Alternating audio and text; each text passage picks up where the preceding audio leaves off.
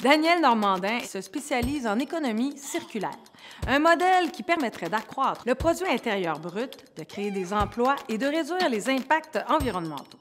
OK, jusque-là, ça va. Mais concrètement, qu'est-ce que c'est l'économie circulaire?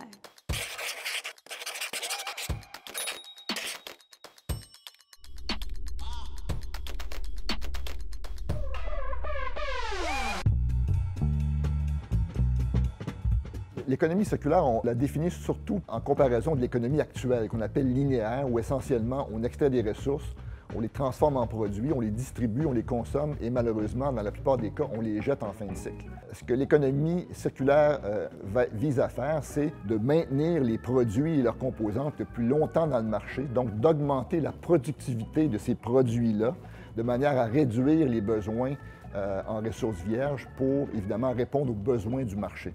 Donc, c'est de prendre ce qu'on appelle des chaînes de valeur et en faire des boucles de valeur. On pourrait donc dire que les boucles de valeur dont parle Daniel Normandin permettent d'allonger la durée de vie des objets du quotidien pour éviter qu'ils ne finissent enterrés dans les sites d'enfouissement. Alors, on se trouve en ce moment au complexe environnemental Saint-Michel, qui était autrefois une carrière. Une fois qu'on a fini d'exploiter la carrière, c'est devenu un site d'enfouissement. Et ce site d'enfouissement a accumulé au fil du temps donc des déchets euh, organiques et inorganiques. Les déchets organiques ont commencé à se décomposer. Ce qu'on fait essentiellement, c'est qu'on récupère le gaz de décomposition qu'on appelle le biogaz. Ces biogaz-là sont acheminés vers une centrale de cogénération et les transforment en énergie qui viennent alimenter des bâtiments qui se trouvent sur le site et euh, à l'extérieur du site.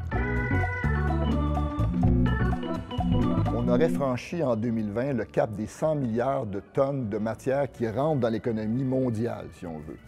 Sur ces 100 milliards de tonnes qui rentrent dans l'économie mondiale, il y en a moins de 9% qui viennent de matière recircularisée.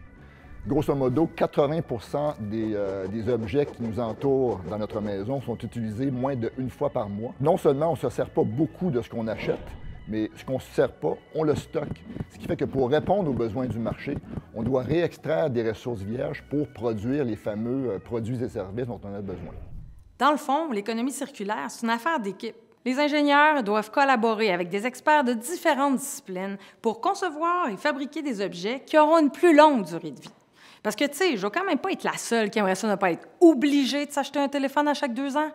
Avant même que le produit arrive sur le marché, on doit refaire sa conception par ce qu'on appelle l'éco-conception. On doit utiliser autant que possible des composantes qui soient faites de matières renouvelables plutôt que non renouvelables, réduire autant que possible la quantité de ressources qu'on doit utiliser pour fabriquer le produit.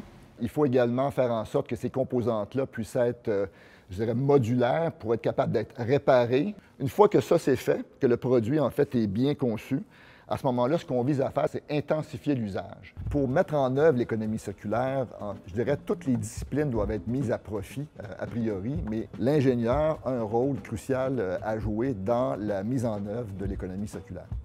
Le travail d'un ingénieur qui contribue à l'économie circulaire est donc ancré dans une compréhension concrète de l'environnement, de la société, mais aussi des habitudes de vie des citoyens.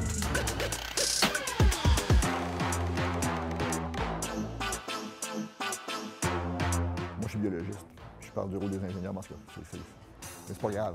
J'ai toujours travaillé en milieu d'ingénierie, mais je suis biologiste de formation.